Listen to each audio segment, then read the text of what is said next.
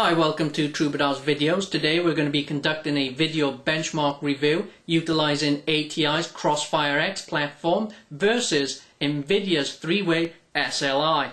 Now as you guys are aware, both platforms recently released new drivers, namely ATI's Catalyst 8.10 and NVIDIA's GeForce 180.43 beta drivers. So we're going to be loading those up in the Beastmaster Skulltrail and seeing exactly which system is king.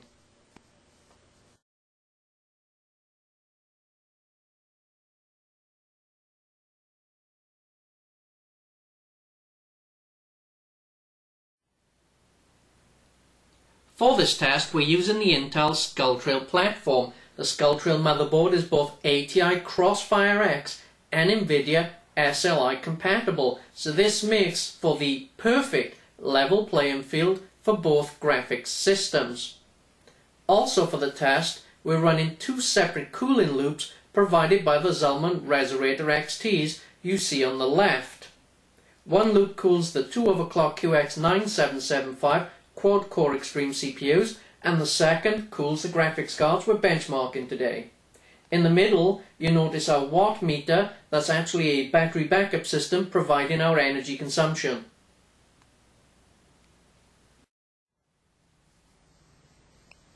The benchmark we're running today is 3D Mark Vantage. This benchmark is fair, quickly becoming the industry standard, as well as producing very accurate and consistent results.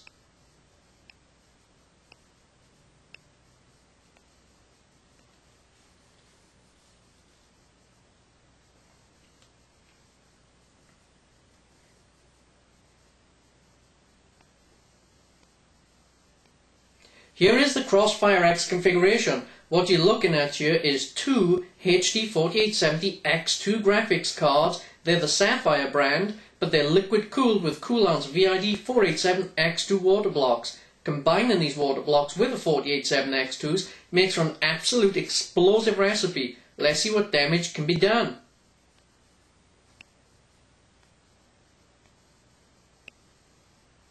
Whoa, look at the energy consumption here. This is the 4870X2s and they're peaking at like 879 watts.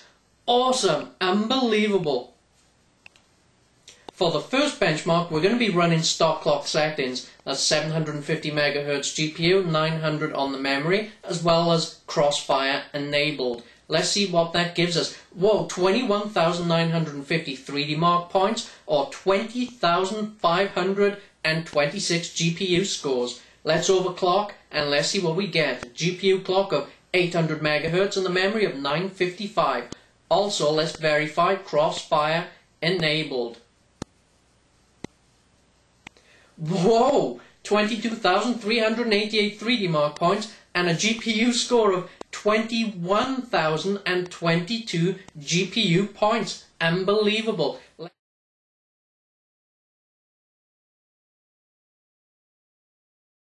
Loaded up in the three-way SLI configuration today, we have three EVGA GTX 280 cards mounted in three-way SLI. These cards are liquid cooled with the Koolance VID 428 water blocks. Once again, this makes for a phenomenal, absolutely phenomenal piece of equipment. Those water blocks keep those cards anything between 40 to 50 degrees C. Absolutely wonderful stuff. Look at the energy consumption on these cards. These three GTX 280s in SLI averaging 860 to 870 watts. The little flashing icon you see there, that's the overload symbol on the battery backup. Let's check these cards out on stock clock settings with a GPU of 602, linked shader. Wow, 22,266 3D mark scores, although the GPU score is less than the ATI cards at 18750. Let's overclock these cards to 738 MHz linked shader with a 1209 memory overclock. Let's see what we get. Wowzers, 24,503 3D marks. Look at that, the GPU score is still less than the ATI card, but look at the CPU score, 53,000.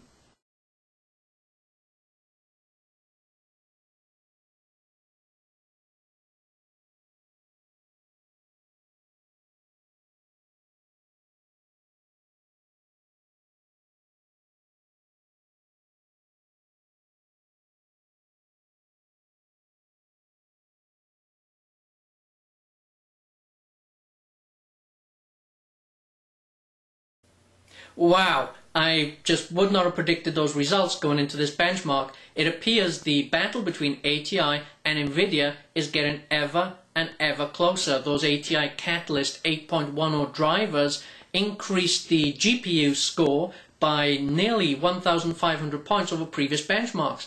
Absolutely fantastic stuff. On the flip side of things, the NVIDIA physics engine took the Skulltrail CPU score to 53,000 CPU score points. Absolutely phenomenal. Both systems are fantastic in their own right. Ultimately though, which one won the benchmark? GPU scores, ATI wiped the floor. Total scores, thanks to the physics engine, NVIDIA for the win. However, is the physics engine really legal? Is it cheating? Who knows? If it's not cheating, why can't I post my scores officially to the 3D Mark Vantage website? Hmm, so who won? I think I'll let you guys decide. Feel free to post your comments, tell the world, tell me. Let us know who you think won this benchmark. Once again, I'd like to thank you guys who post comments and rate these videos, especially my subscribers. And don't forget, if you enjoy watching these videos, feel free to subscribe. Thanks again and take care. Bye.